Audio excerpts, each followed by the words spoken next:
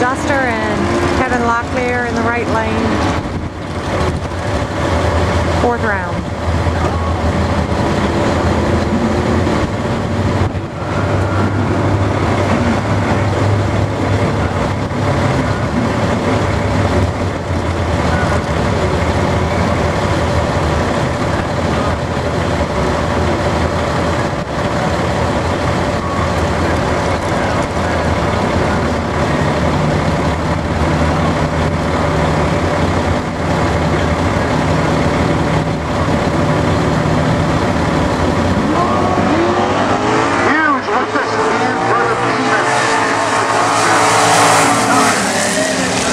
lane winner for Kevin Locklear.